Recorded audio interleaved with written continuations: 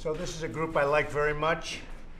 We're here to discuss agriculture, very important. These are great people, great Americans, great patriots. And they've been treated very badly for a long time. And if you look at the farmer, it's been unfortunately over a 12 year period trending downward, very much trending downward. So we're changing things with respect to trade and trade with other countries. A lot of times the farmers sort of, they know what they have, but it'll be very good when we get it all finished. It'll be great. You know, people are a little bit concerned going into that wild blue yonder, or in our case, the wild red yonder. But I will say that uh, the farmers are going to be, uh, they're going to do fantastically well. But they have been trending downward for a long period of time, and we're not going to have that. A lot of it's because of bad trade deals. So I'm pleased to be joined by several of our nation's governors, very distinguished governors, and members of Congress to talk about trade and agriculture. As you know, the recent investigation led by U.S. Trade Representative Bob Lighthizer, who's with us today also, identified a pattern of chronic Chinese trading abuses, including theft of intellectual property and trade secrets and forced technology transfers, which has cost this country hundreds of billions of dollars, and also the targeting of American technology. It's cost us untold hundreds of billions of dollars over the years. Larry Kudlow's here and he's shaking his head approvingly, meaning of what I'm saying. Yes, sir. But disapprovingly of what they've done. Yes, sir. Uh, as you uh, are all aware, China has consistently treated the United States uh, agriculture unfairly. I was very proud of something I did at uh, Mar-a-Lago in Florida. I had President Xi, who's a friend of mine, who's a, a very, very good man. And I don't blame China. I blame our representatives, that our people over the past, our uh, presidents and negotiators and trade representatives, that they allowed this to happen. But uh, during a very brief conversation, I said, President, the United States, we want to sell beef again to China. Now, they hadn't sold it in what, 14 years or something. And he looked at me and he said, Say it again. I said, We want to sell beef. That's a big industry in China. And he said, We will sell beef in China. And we did other things too. But the one that really is the most interesting for the people at this table is beef. And I think Governor. Uh, that made a big impact, and they're selling a lot of beef in China. That hadn't been for 14, 15 years. They were not allowed to sell beef in China. So we have the kind of a relationship uh, that I think is going to be very uh, aggressively sustained. Yesterday, uh, as you know, President Xi uh, made a very good speech, and he said he's going to open up China. He's going to open it up, take down a lot of the trade barriers, maybe all of them but take down a lot of trade barriers. Uh, and he's going to get rid of a lot of the uh, taxes or tariffs that they charge. Because right now, if you have, and I use this example because it's so easy, if we sell a car into China, number one, they won't take the car. And number two, if they did take the car, it's 25% tariff. Whereas we have no barrier. And when they sell a car into us, it's 2.5%. So they have barriers, but when they don't have barriers, it's 25% versus 2.5%. That's not a good way to make money. Chuck will tell you that. So we're straightening that out. We want to be reciprocal. So if they charge 25, we charge 25. If they charge two and a half, we charge two and a half. And maybe what happens is we both charge nothing. Because I know we'd all like that. I think Ben would like that better than anybody. Okay, that's simpler than 25. Let's save all the let's save all the transfer of funds, need right? so trade. that's that's what we want. We want more trade. We want no barriers. But the only way you can knock it down, you can't just go in. Uh, for 25 years, presidents have been trying to negotiate, and they've been very unsuccessful because they'd meet and they'd say, "Can we talk?"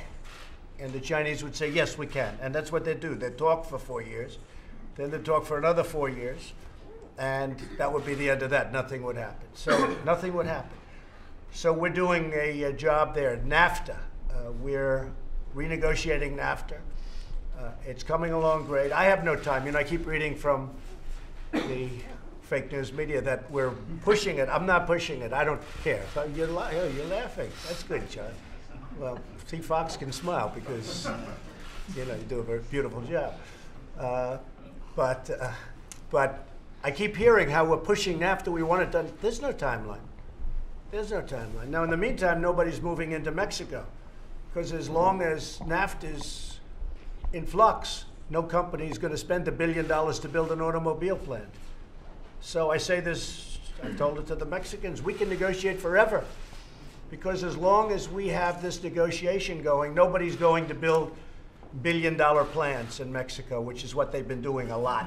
They have taken our auto industry by the throat. And so many jobs have been lost, so many massive plants have been built in Mexico. Top of the line stuff. But that's not happening now, and they're coming back. Chrysler's moved back, a lot of them have moved back. And same thing with agriculture, which is going to be our predominant uh, discussion today. So, agriculture uh, is okay with NAFTA. Not great. We're going to make it great. We're going to make it great. And uh, we're getting pretty close to a deal. It could be three or four weeks. It could be two months. It could be five months. I don't care. So, you know, the narrative of I'm pushing for a deal, I never push for a deal. I don't care. In fact, if everybody in this room closed their ears, I'd say I'd rather terminate NAFTA and make a brand new deal, but I'm not going to do that because I want everyone to be happy in this room, okay? We'll see how it goes. But we're going to make a fair NAFTA deal, much better than it is right now. NAFTA has cost this country hundreds of billions of dollars. It has been a disaster. We've lost 50,000 factories, millions of jobs. NAFTA has been a disaster. So we're going to either come up with a great NAFTA deal and a fair one for this country, or we're going to just do something else, and agriculture will be taken care of 100%. So we're going to have a discussion today, and we're going to talk about agriculture as it relates to trade primarily. Uh, again, we're doing really well with China. I think we're having some great discussions. We'll see what happens. We put a $50 billion tariff on, then we put a $100 billion tariff on. And you know, at a certain point, they run out of bullets. Remember what I said. When you're 500 billion down, you can't lose a trade war. And I won't call it a trade war because it's really a trade negotiation. But nobody ever negotiated from our side. Nobody ever did anything. All they did is talk. And in the meantime, we helped rebuild China because they took so much money bridges and airports and military and everything. They took so much, hundreds of billions of dollars out of our country. So now we're really negotiating. And uh, I think they're going to treat us very fairly. I think they want to.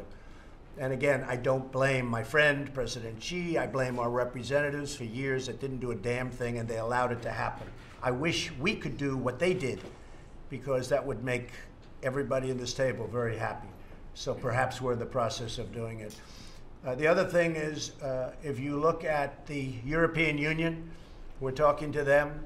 Uh, I don't know if you realize it, but they have virtual barriers against even agriculture from going in. So they sell us their Mercedes Benzes and they sell us their BMWs and they sell all the different things, and we have no barriers whatsoever. Hello, Pete. Good job you're doing, Nebraska folks, doing a good job. He never liked me until we met. he, he, was a never Trumper, and his family. that was my brother Todd. No, no. and then I flew to Nebraska, state I love. I made a speech, and he liked me. And from then on, he called his brother. He said, "Trump's good. Let's be well, friends." Remember, that, remember that, speech, Mr. President? You vowed to open up the Chinese market to our U.S. beef, and, and you delivered on that promise. Right? did I deliver? That, I did. I did that quickly. Yeah. In one conversation. So uh, good to see you, Pete. So we are uh, opening up the European Union, or we're not going to, you know, be very nice about it. Uh, the European Union will lose 151 billion dollars this year. We lose with almost everybody. Uh, we lose with uh, Canada. We lose with Mexico. We lose with the European Union. We lose with certainly we lose with China, Vietnam. I mean, no matter where you go, it's very rare, very rare that our country uh, has a surplus. But we're changing it. And as Ben said, we want to have trade and we want to have barriers taken down because the barriers in many cases are far worse than the tariffs. I mean, the tariffs can be bad, but the barriers are very bad. So the European Union makes it very hard for agricultural products because their farmers don't want you there. The farmers say, we don't want the American farmers. But that's not fair because we take all of their stuff, a lot of cars, and a lot of other things. So they're going to have to take down the barriers because we can't have it. You know, when you think of the European Union, you think so friendly, so nice. They're very brutal to us in terms of trade. So we're talking about that too. In the end, the farmers are going to be, I think, the biggest beneficiary from all of what's happening. There are great people. We love our farmers. Uh, they were so good to me during the election. That whole, much more than center of the country. It's a big group of people, Joni, right? But uh, Sonny Perdue came and he said, "Look at this," and he held up a map, and the whole thing is red, and those are those farmers, and we love those farmers, right? We're going to take care of the farmers. They haven't been taken care of. I mean, you just take a look at European Union; they virtually can't do business. Uh, take a look at China. Take a look at so many other places. So uh, we are going to uh, finish off these trade deals. I'm going to ask Sonny, the Secretary of Agriculture, to say a couple of words. I might ask Bob Lighthizer to say a couple of words, and maybe Larry Kudlow, and then uh, uh, we will get on with our meeting, and we'll ask the media to head out of the room. Sonny? Mr. President, uh, the people in this room, both in Congress and governors, represent some of the best people in America. And that is those people that you've uh, uh, used a word that I like to use about them. They're patriots first. They're Americans first. They bring the hard working, uh, working ethics of the American spirit from their fields and farms and ranches across this country. And they support you. They understand what you're trying to do and calling the question, having the courage to call the question against people who've been cheating, both China and EU. The barriers that you describe actually punish American farmers more than a, a lot of other industries because the American farmer and rancher has been so productive. So they're with you in that effort. Obviously, from their livelihood perspective, we can understand their anxieties, and that's what these people hear about on an ongoing basis. But I've been out last week on the road assuring them what you told me is that you are going to take care of the American farmer. You don't expect them to be the only soldiers in this battle. And first of all, I think your, your point and what President Xi said over the weekend, I don't think we're in a battle yet. I think we have uh, set the stage for a balanced negotiation that can happen, and that's what all of us are hoping and praying for, that we get a good, sound, fair, balanced negotiation with all of these countries, and we applaud your leadership and courage in calling that question. Well, that's why I really call the farmers patriots because they know what I'm doing. They had a group of 10 on in one of the shows over the weekend, and they were farmers. And do you agree what the president's doing with China? And they all agreed. They all said, look, we may have to take a little bit of a hit. I don't even think they will. But in the end, the country's going to be much stronger. Our country is going to be much stronger. But more importantly, they're going to be so, everything's going to be better. Just everything's going to be better. And one of them said, you know, most importantly, the country's going to be much stronger, but we're going to make much more money. They're going to be they're going to be doing much better. And you know, as an example, I'm working with Chuck Grassley and with Joni and with Deb and with all of us, right? We're all working together, and we're working on the ethanol, and uh, it's really working out. I think it's going to really work out. People have been talking about this for years, and we think we're going to do something. I will say early, and not, this is no guarantee, but we're going to raise it up to 15%, which makes a lot of people happy. Uh, we're going to go to uh, 12 months, which makes a lot of farmers very happy because we go from eight months to 12 months. That's a big difference. It was always unnecessary and ridiculous. So we're going to work out something during the transition period, which is uh, not easy, very complicated, because we have to take care of our refineries. We have to take care of a lot of other people. But we're working on transition now because there'll be a two-year period of time that we have a little bit of complexity while things are happening, while things are being built. But we're going to be going probably, probably to 15, and we're going to be going to a 12-month period. So I think that's going to be. Look at, look at that big smile. Boy, all of a sudden there's a lot of smiles. But- And you know what? It's going to solve a problem. Yeah. And we're going to be helping also, we're going to be also helping uh, the refineries. So the refineries are going to be able to do much better because right now there are a lot of them that are not doing well. So we have to help the refineries. So uh, we're very close to getting that done, and, and uh, uh, we've worked hard on that, Joni, I think. But uh, it's it's coming along very nicely. Could I ask uh, Bob Lighthizer to say a few words, please? Sure, Mr. President. I would say, first of all, to get into details about things in the driving session, as you, as you asked. Um, just preliminarily, one, I, I talk to a lot of people around this room a lot. Everybody, I hope you all realize that I'm available to talk. I know this is in-time information and, and, and consulting is important. And I haven't talked to all of you, but most of you I talked to a fair amount. So I want you to know that I'm welcome to do it. I'm happy to do it. He's working about 23 hours a day and he sleeps for one. Look at him. I mean, this is guy. he's like exhausted. He's shook. That's all right. That's okay. Look that You're bad. looking. You're only kidding. You're looking good. Go I don't look that bad, all right? So, the second thing is, we tend to think a lot about agriculture, as always on the defensive and all those things. The fact is, you can't really find a serious market we, where we couldn't do better in agriculture. China, of course, we talk about the, the sales there, but they're a fraction of what they should be, literally a fraction. So, we're very much on the aggressive side as far as that goes. Um, moving down quickly, of course, we've made enormous progress. People are aware of that. I feel um, I, I agree with the president on everything, including we're in no hurry on NAFTA. Having said that, we're making progress on NAFTA. Uh, I, you know, something that people don't focus on. We have 18 cases at the WTO where we're pursuing the interests of agriculture, very within the within the trading system, which is a, a very big part of what we do. And we're starting to get much better results at the World Trade Organization, WTO, because they know we're not playing games anymore. You know, we're going to get the results, or they're not going to be so happy. Hmm. I mean, it was set up to hurt us. I mean, if you look at it 25 years ago or whatever it was, it was really set up to take advantage of the United States, as far as I'm concerned. But we're starting to get much better results, and that would make, I think, a lot of people very happy. And then I just said the final thing I, I have, and we'll talk about this privately, the, the China situation is a serious problem. Everybody realizes something has to be done about it. I'll show you. The numbers are off the charts. It's a real threat to our economy. The president has a plan that you can draw literally back from, from June of 2016, where we talked specifically about what we would do. He ran on this issue. He has a mandate, and I'll show you every moderate, reasonable, well-studied step we've taken. I'll do this in private, of course. And you can see how we got here in a very moderate, reasonable way. But it's just not an issue that can be further kicked down the road, and we, we expect to continue to do it that way to get a, a good result, Mr. President. Good, thank you very much, Bob. You really are doing a great job, I appreciate it, but we want to see the end result. Because it doesn't matter what happens during the course, it's the end result that counts. Uh, I, I just, while we're talking about China, um, we are getting along very well. I think we're going to do some great things, but very importantly, they're very much helping us at the border of North Korea, and they're continuing to, and you know, they view it as uh, something they should do. I think it's certainly very beneficial to them. Getting rid of nuclear weapons is very good for them, good for everybody, but they have really been a great help to us at the border of North Korea.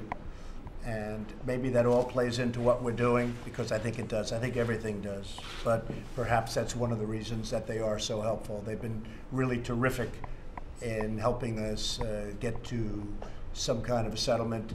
Uh, meetings are being set up right now between myself and Kim Jong Un, who will be, uh, I think it'll be terrific. I think we'll go in with a lot of respect and we'll see what happens. So we've come a long way, but China's really helped us at the border and we appreciate it. Okay?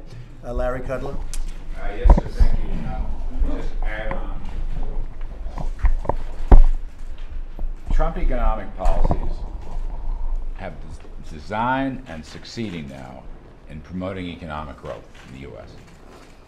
We're already running over 3% growth in the last three quarters. People said we couldn't, but we are. There may be a sloppy quarter in there someplace, but the trend is unmistakable. I will say, you know me, um, I'm a growth guy. Better economic growth helps everyone. Everyone. I don't care what industry, what sector, what state, what region. Growth helps everyone. So 155 million Americans are benefiting from growth. New businesses, existing businesses, new investments, existing investments, getting rid of the tax burdens and the regulatory burdens help growth, and it's paramount. In connection with the President's trade initiatives, these are designed to promote growth. We lose sight of that as we get into the various details. I urge you not to think of the worst case in every situation. I just urge you to do that. Um, we've got one of the greatest negotiators uh, on the planet. He's laid out a menu of options. Everything's on the table. He has to do it. He'll do it. But there's also a positive side. As the president said, we've had good signals from China for a change just in the past few days. The President signaled back. Great discussions are going on. The China initiatives with respect to technology and barriers and autos and uh, farming, this is all designed at the end of the process. I call it the end of the rainbow to promote growth. There's a pot of gold there. If you open that pot, there will be better growth and more prosperity for every part of this country and every working person in this country. That's the design. It's not to punish, it's to grow. Never talked about punishment. And I spoke to a lot of House members and Republican side just earlier this morning, and I, I said this. I hope I don't violate anything, sir. Stay with us while we go through this difficult process. Stay with us. And at the end, if the worst cases come out, as the President has said, you'll be helped. That's a promise. I echo that promise. But stay with us now. Next few months could be very, very important. And if we succeed, and I do believe he's going to succeed, growth is the dividend. Prosperity, we haven't seen it in over 20 years. So this trade initiative is part of our growth policies. It falls very nicely into lower tax rates and lower regulations.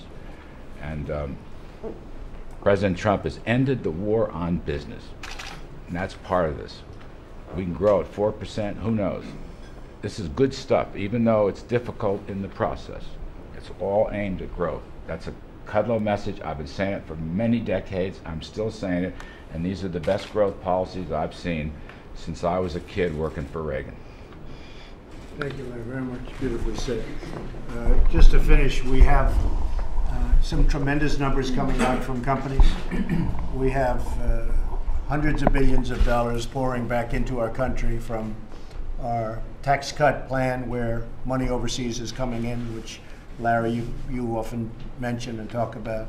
Apple, as an example, is investing $350 billion in plants, which they don't have too many of, but they will, and campuses and everything else. Uh, other companies are investing billions of dollars back in our country. So they're bringing in billions of dollars, I would say ahead of schedule, even far ahead of schedule. And that's going to create growth and jobs and everything else. Uh, as you know, uh, we had 32 solar plants, and of the 32, I think 30 were closed, Larry, right? They were, it's a new industry, but they were getting absolutely killed by China and some others. And we put a uh, tariff on those panels coming in, which were not nearly as good as the ones we make. And now we have uh, two that are open. Can you imagine of the 32, there were two that are were just about limping along and barely open. These two are now doing very well, and they're looking to open seven, eight, nine of the plants. Uh, same thing with washing machines. They were dumping, if you can believe this, washing machines all over the country, just dumping them. And we put a 30% tariff on, and now washing machine plants are expanding and opening in our country. So I just want to use tariffs judiciously, but it can certainly help. Uh, the steel and aluminum industry, 10% on aluminum, and you probably have seen, and I sort of thought this might happen, aluminum is down 4% since we put a 10% tariff on. So someday somebody's going to explain that to me. I didn't think it would be that good. I thought maybe it would go up just a little bit. Uh, steel, uh, we have taken the tariff off some countries when we've been able to renegotiate deals. For instance, in South Korea, when they heard they had to pay 25% tariff on steel coming in, they went absolutely crazy. And we made a deal. The KORUS deal is now pretty much concluded. And we really made that, I would say, Bob, largely because of the fact that they did not like the fact that they were having to pay tariffs on steel. So we've been able to, even the European Union, they're not happy about the steel, and we're negotiating with them. I don't know that we'd be negotiating without the steel. And I say it for them to hear. I couldn't care less. They can hear it. Uh, in some cases, uh, people are paying tariffs, and we're taking in a lot of money for the country. Those tariffs are tremendous. We're taking in a lot of money. Not so bad either.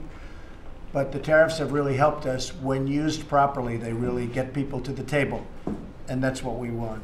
But I want people to the table also for our great American farmers, for the ag industry.